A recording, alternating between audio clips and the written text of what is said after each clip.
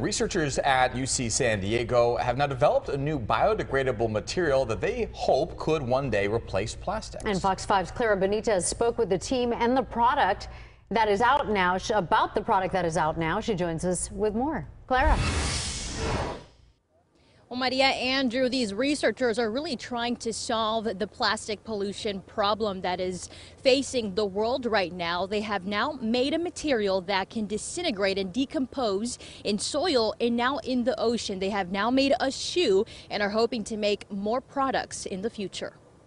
Inside the Applied Physics and Mathematics building at UCSD. Microplastics do not biodegrade. They persist in the environment those get into fish, those get into food. Researchers are working on a biodegradable material that can one day replace all plastics. There are things called the garbage patches in the ocean. You guys have probably heard of those. These are in every ocean on the planet and some of them are enormous. There's one in the Pacific Ocean that is the size of Texas. Which professor of biology at UCSD, Stephen Mayfield says is one of the environment's greatest threats. There are lots of people who know that this is one of the biggest problems, biggest challenges we face on the planet.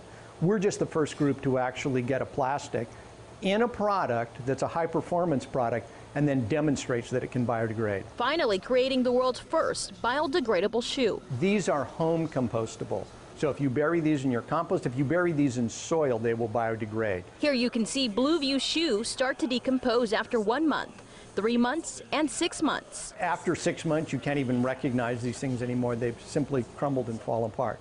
Right above that is the shoe that was in the water for six months. And so what you can see is the process is the same, but in the ocean it's a little bit slower. After almost 12 years of working on this material, Mayfield was finally able to come up with material that wouldn't hurt the environment but help it. We recognize that plastics are made from petroleum, and petroleum comes from algae. So we just thought, why not make plastics directly from algae? Now the next step is to innovate and continue creating. The only way they're going to change is when consumers force them to change. How do consumers force them to change? Either one, you call them up or text them or go on their Instagram and complain about their non-degradable products, or you buy a degradable product. And if you buy a degradable product, that will prove to the other brands that this is the future. If you would like to purchase the Blueview shoe, we do have that link on our website, fox5sandiego.com. Just click on the Seen On tab.